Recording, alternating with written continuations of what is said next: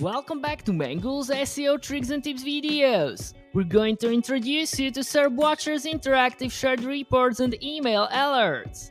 We'll click on the button Share Tracking in the top right corner of the dashboard. Everyone with this link will see the dashboard directly in their browser.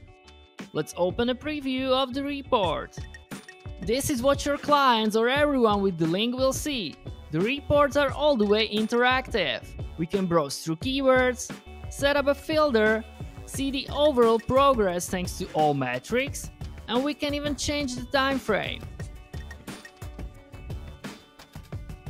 When it comes to scheduled automatic reports and alerts, we'll go back to the dashboard and we'll find them in the top right corner.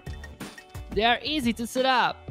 We'll select the weekly or monthly type of report, or a suitable event for an alert. Then we'll add recipients, a name, and we are good to go. Now we'll always be notified based on our preferences. We can change the settings if needed or create more reports.